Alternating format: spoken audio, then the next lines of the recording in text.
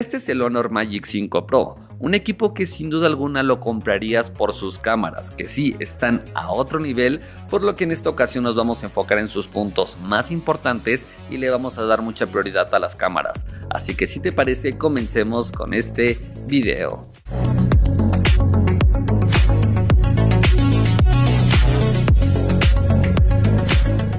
Bueno, arrancando como siempre, hablemos del diseño, hay varios puntos a mencionar bastante interesantes. Primero, lo que llama bastante la atención, por supuesto, es este enorme módulo de cámaras en formato circular que llama bastante la atención y sobre todo que resalta del cuerpo del teléfono por lo que la sensación de repente va a ser un poco extraña, pero al final de unos días te terminas de acostumbrar. Tendremos unas dimensiones de 162.9 por 76.7 por 8.77 milímetros y un peso de 219 gramos. Como pueden ver, es un equipo grande, pesado, pero te da mucha seguridad y evidentemente tendremos muy buenos materiales de construcción, en este caso aluminio junto con cristal. Y bueno, este tono que tenemos es un verde, verde esmeralda, que resalta, de verdad se ve precioso y generalmente les puedo decir que el diseño de este equipo me ha gustado bastante, en todos los sentidos se me hace un equipo muy bonito. Pasemos ahora con uno de sus mejores apartados, la pantalla donde en este caso encontraremos un panel OLED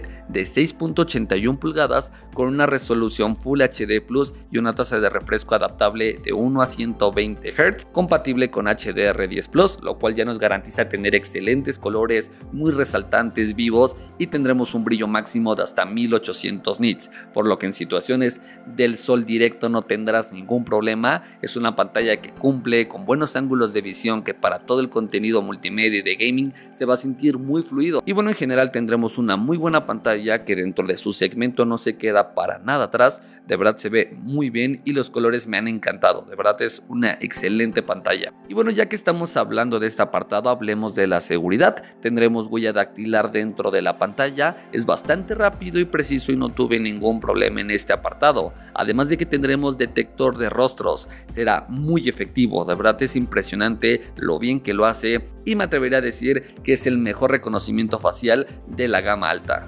Y bien, dejando a un lado su bonito diseño, pasemos ahora con el corazón del equipo, la parte interna donde encontraremos un procesador Snapdragon 8 generación 2 con 12 GB de memoria RAM y 512 GB de memoria interna. Esto quiere decir que tendremos, obviamente como era de esperarse, una de las mejores experiencias en la gama alta, tanto en aplicaciones cotidianas como en juegos que requieran de muchos gráficos, FPS y demás demandantes. La verdad es que se comporta bastante bien y era algo que ya se veía venir, ¿no? Realmente estás pagando por tener la experiencia más completa de usuario, así que en este apartado lo hace bastante bien, el equipo viene muy bien optimizado y tendrás un buen rato en juegos, de verdad. Yo no acostumbro a jugar mucho como ya lo he mencionado en anteriores videos, pero cuando tienes un gama alta te picas por la experiencia, la fluidez, eh, sentir todo eh, tan vivo, tan real, la verdad es que es otro nivel y este Honor Magic 5 Pro cumple sin duda alguna. Bueno, de hecho también lo estuve poniendo a prueba con aplicaciones de edición, concretamente Lightroom, y debo decir que se comportó demasiado bien, lo que era de esperarse realmente también en este apartado.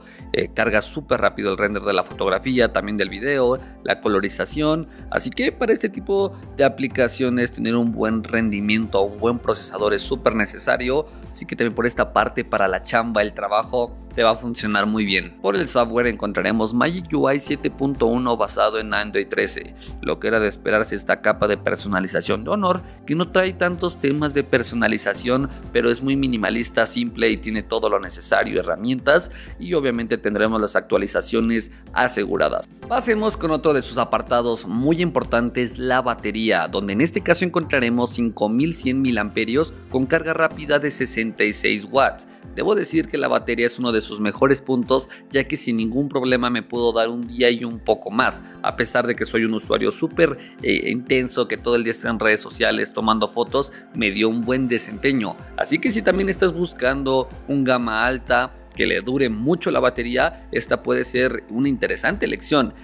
Eso sí, la carga rápida nos deja un poco atrás, ya que hay otros teléfonos de este mismo segmento que lo cargan eh, el doble de rápido. Tenemos eh, de 0 a 100% en unos 45 minutos aproximadamente. Y bueno, por fin, ya estábamos esperando este momento, las cámaras donde en la parte de atrás tendremos una configuración de cuatro lentes. Su lente principal será de 50 megapíxeles con una apertura de 1.6. El segundo lente será de 50 megapíxeles de igual manera 2.0 ultra gran angular de 122 grados y como era de sorpresa también su tercer lente es de 50 megapíxeles con una apertura 3.0 para el telefoto con zoom óptico de 3.5 y digital de hasta 100x y tendremos otro sensor de TOF de enfoque láser. Esta configuración que tenemos les puedo decir de una que es la más versátil que vas a poder encontrar. Se va a adaptar a diferentes condiciones en cualquier entorno que tienes también a través de la inteligencia artificial y todos los algoritmos que utilice esta cámara te va a dar los mejores resultados con muy buena nitidez, muy buen contraste y diferentes valores que apuestan para darte excelente calidad fotográfica.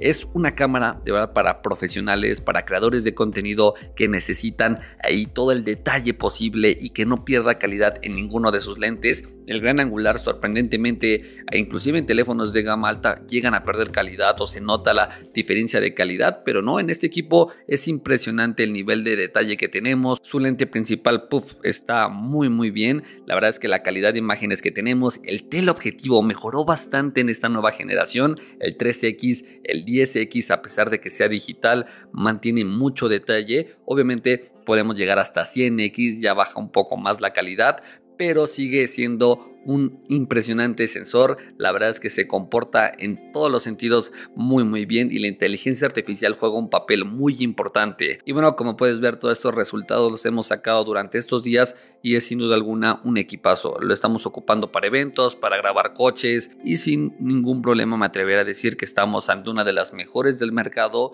que de verdad ante los gama altas que encontramos actualmente, eh, llámese iPhone 14 Pro Max, S23 Ultra, P60 que ya también estamos probando está a la altura realmente de todos estos equipos. Compite muy bien y hablando del video vamos a poder grabar este en 4K a 60 cuadros por segundo, otro de sus mejores apartados y que aquí hicimos puesto mucho prueba ya que hemos grabado un montón de historias, hemos grabado ya un par de videos con estas cámaras y el modo película es una de las funciones que sé que vas a ocupar ya que te da diferentes dimensiones y te da LUTs. Ya encontramos LUTs, o sea, es impresionante que ya en un teléfono tengamos LUTs o podemos grabar en log para poder colorizar ya en edición y puedas tener mejores resultados. Así que sí, tenemos una cámara profesional tanto para fotografía como para video.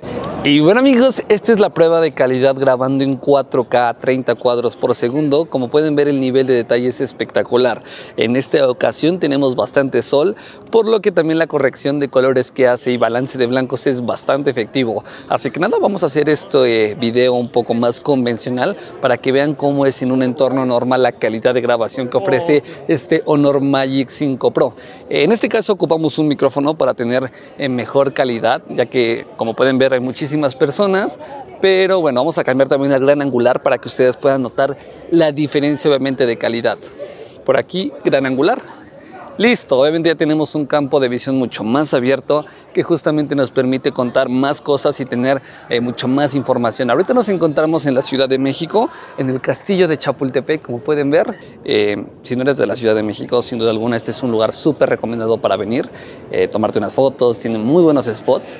Así que vamos a caminar de este lado, donde como pueden ver no hay tanta luz del sol y vamos a checar toda la calidad. Ahorita estoy grabando con el gran angular, pero vamos a ir jugando con sus diferentes lentes para que puedan percibir toda esta calidad que ofrece en 4K, ya que podemos grabar hasta en 60 cuadros. Estamos como en la parte de atrás del castillo de Chapultepec y tenemos estos spots, estos jardines muy bonitos con su respectiva vista a la fuente, la entrada como principal. Tenemos de este lado de fondo toda la Ciudad de México, Reforma y el lago de Chapultepec. La verdad es que se ve impresionante y vamos a cambiar al gran angular para que podamos tener un campo de visión mucho más abierto y puedan apreciar todo esto. Chequen nada más lo bonito que se ve.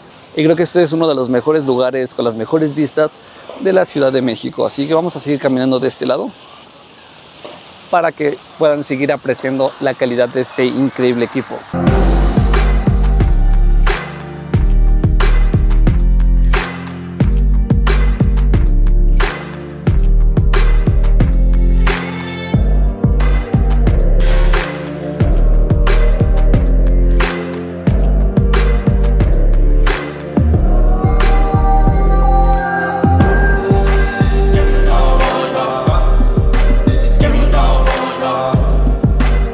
De su cámara frontal tendremos un sensor de 12 megapíxeles con una apertura 2.4. De igual manera tendremos muy buenos colores, muy buenos resultados, muy buena definición. Eso sí debo decir que en la gama alta encontramos equipos que significativamente tienen mejor detalle.